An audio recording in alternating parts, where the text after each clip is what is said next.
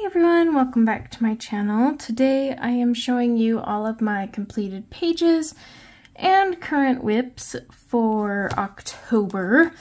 Um, so some of these WIPs will carry over obviously into the new month that we are already in, but let's get started. So this was actually done on a live stream on Sunday. This is Johanna Basford's Magical Jungle. I was doing a Derwent Inktense tutorial I have all the pencils still out, so I plan to keep working away on that page. Figured I'd get the ones that are on camera out of the way first. Then in Magical Worlds, also Johanna Basford, also started on a live stream. I have this pumpkin page that I am still working on. I'm actually going to probably finish this one as well as the Inktense one on my silent coloring channel, um, just so you can color along. But this was like a pink pumpkin that was pretty fun. Still has a lot of work, uh, a lot to be done.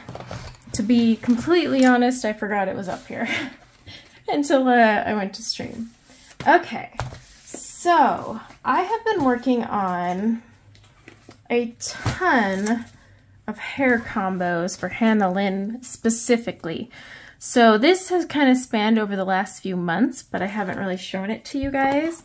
But what I did is I took my copies of Enchanted Faces. I have two of these plus the PDF. I have two of the small, one of the big, and the PDF. I also have two of the small and this one. Um, in fact, it's right. Here's my PDF one. So I love sometimes just sitting down and coloring Hannah Lynn hair. I don't care anymore if that's just a whip. I colored the hair and that's all I did. I don't care. And you know what? It's been the most freeing experience of my life. I'm not gonna lie, I highly recommend it. So I spent two months when I was in my coloring slump only doing Hannah Lynn hair and it was glorious. I wrote down all the combos. There's quite a few reels on my Instagram and shorts. So I didn't finish this book out as much. I don't think I even touched this one yet. Nope. It was its big sister I did. Okay. So, like I said, I just started going through and coloring the hair. So I will show them to you.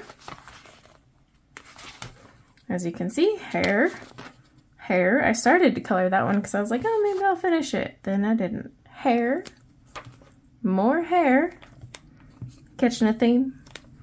Now some of these look similar, but they're actually different color combos. I was playing with the wacky and the normal and everything in between.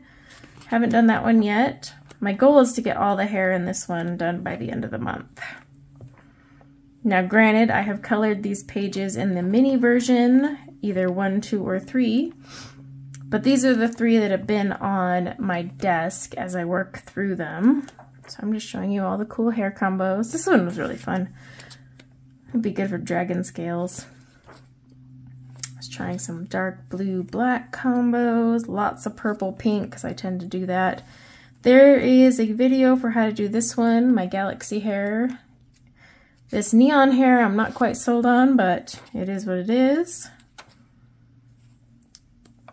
yeah, all Prismacolors.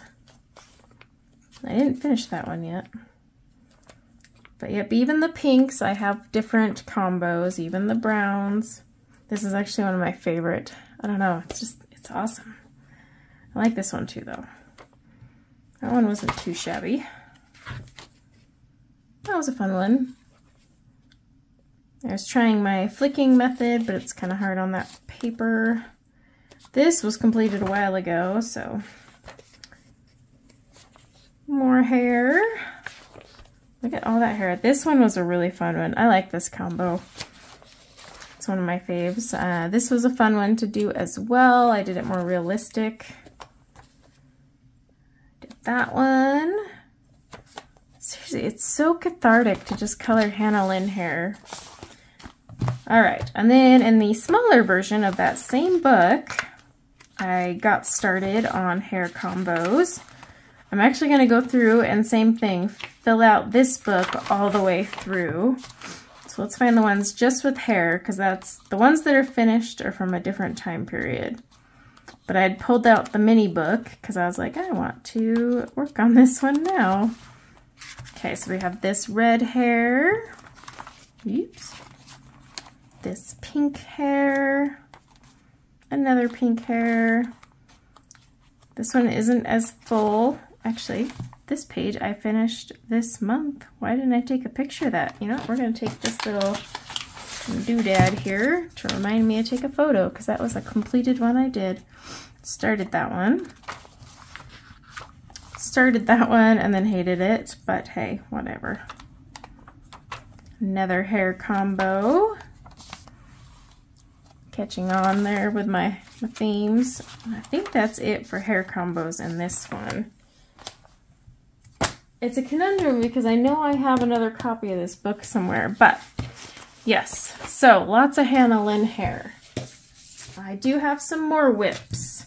So this lovely gal, this is from Kundanks Art. I did the hair with Derwent Pro Color.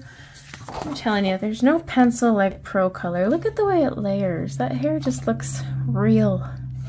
It's gorgeous. Oh, I love it. Uh, skin is pretty much almost done. It doesn't look like it probably, but that's because I haven't filled in her lips or her brows or like anything around her. I started with this flower combo and decided I hated it. So I'm going to erase that and make this more fallish color. So hopefully this will be in my November pages.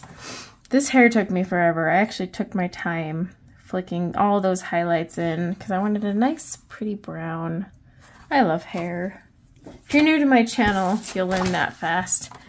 Also another whip. This is a Yana Prosperina page. I had started it. I have actually colored this one before in a book. So I decided to do a PDF version, but I just need to put on a background. I don't know. All right. I have a completed page. So in Shooting Star, I actually started this on a live stream. I did this one with Artix uh, pencils. It actually turned out pretty good. The entire thing's with Artix, right down to the background, because I was indeed that lazy. So, um, yeah, that one's pretty much done. Oh, except the star. I was going to make that glittery. Wasn't bad. Artix did pretty good on this paper. Would I have rather done Prisma? Probably, but I'm biased. okay. Lots of Teresa Goodridge, but in Country Gardens, I completed this one here. This was with Derwent Inktense. You're going to notice a theme coming along here, but everything is in Derwent Inktense here. Activated with water brush pens. That's these little doodads. All right, I got one in Country Farms, also a Teresa Goodridge. I did this one. Do you want to guess with what? Inktense, and I'm on a kick with Blue Barns. I don't know why. I don't. I really don't. Um, it's not quite done though. I want to add some white gel pen to give, you know, like little highlights. So we'll call this one more of a whip. Like I said, here we go, theme. Okay, Garden Gnomes. Started this one with Black Widow. I like Black Widow on these pages and I just never finished it. That's okay though. And then let's see. Which tab comes first. Oh, I think it's this one. Okay. Then I've got this bad boy. The tutorial for this is actually a wood grain tutorial with ink Inktense. It's on one of my channels. Might be the silent one. Um, I should look that up. And you know what? Actually, I started this color along on my silent channel and didn't finish it, so I should probably do that. Activated with a colorless um, alcohol blender, though. Oh, and then you probably want to see the other one. Then I've got this one with Inktense. I like Inktense on her pages. Uh, that and watercolor pencils. This is also done with a water brush pen. I just kind of got bored of doing apples, as you can see, because a lot of these pages have apples and I was kind of over it by then. And then in Gnome Sweet Gnome, do you want to guess what this was done with? this was done with Inktense. No apples. I just got kind of, I don't know. I was debating on how I wanted to do the clouds and everything else, so I just stopped and never came back. But it is activated with a water brush pen.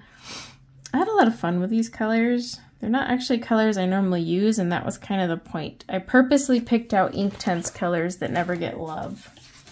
All right, I do have two portraits. Uh, this one is actually done. She just needs a background. If you have any suggestions, let me know. Again, by Kundinks Art.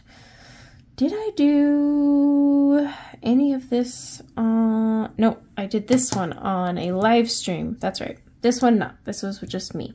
So this is all Prismacolor except the hair. The hair, just by looking at it, I would say that was Black Widow. Um, but I had a lot of fun with this one.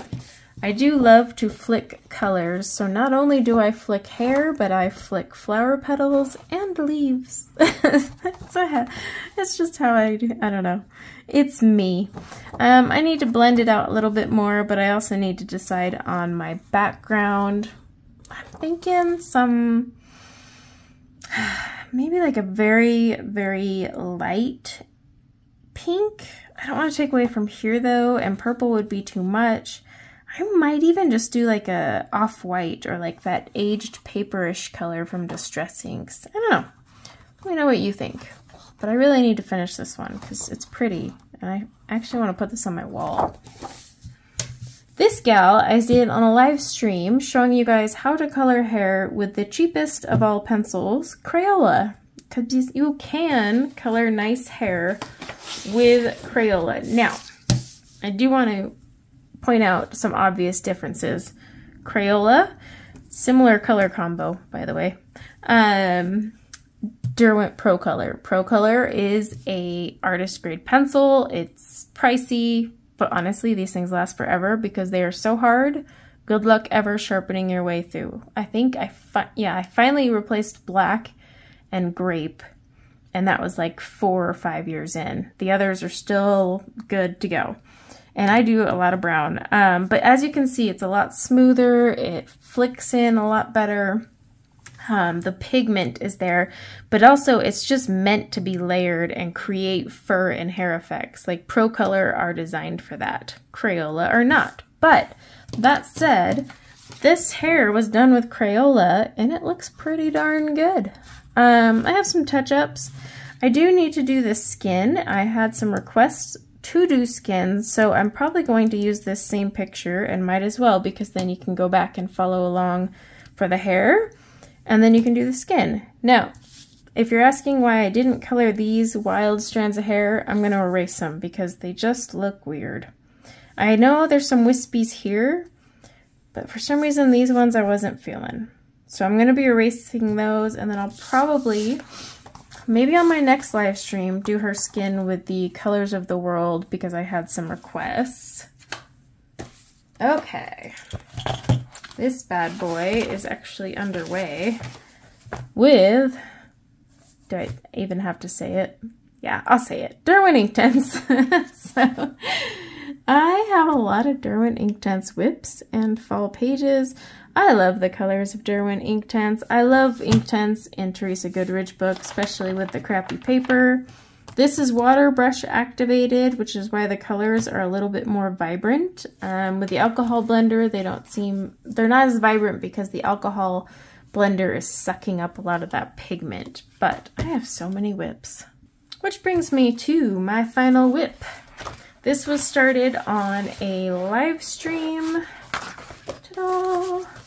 With Prismacolor, what I did was I picked two random cards from my color cubes and then I pulled those colors. Where's my cheat sheet? Oh shoot, I've lost it already. I have a cheat sheet where I wrote down the Prismacolor colors. And that is all I am using.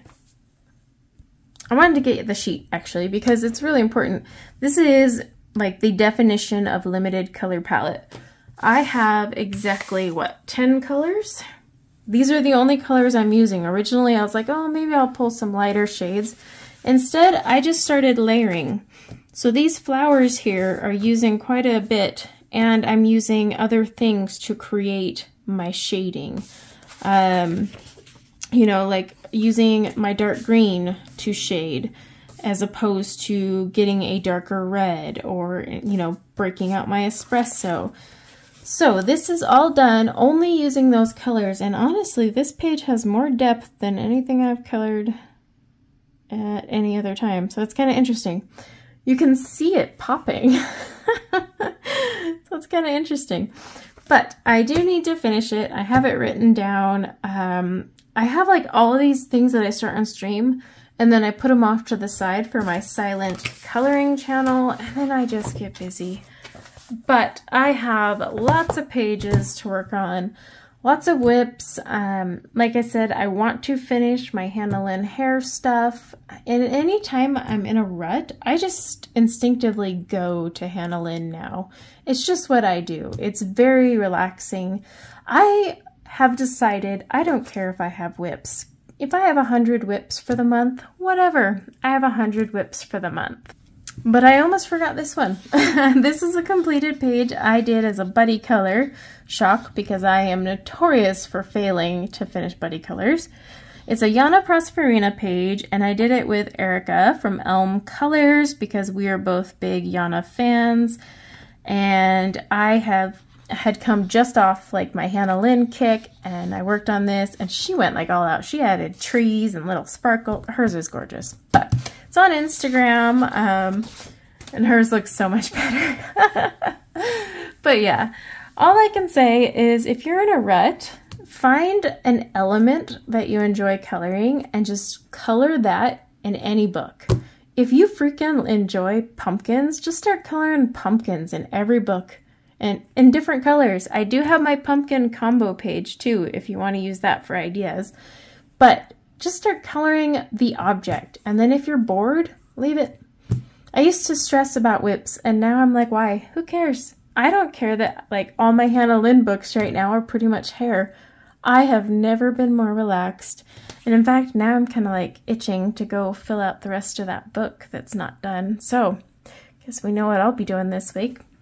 But anyway, thanks for hanging out. Let me know if you want to see this on Sunday's live stream. We'll use the skin tones. And yeah, hopefully I can finish this bad boy soon too. Fall color. It's got berries and stuff. This would be perfect. I just got to get rid of that ugly combo I was trying. I don't know what I was doing. But I would love to do that. It'd be fun. Plus I can kind of show you the skin tone. And then I think these are piercings here. It's hard to tell, but it would be fun to do this entire thing, and because I've already done the hair in Crayola via live stream, it'll make it a lot easier. So thank you everyone. I hope you had a great month of coloring, and until next time, take care. Bye now.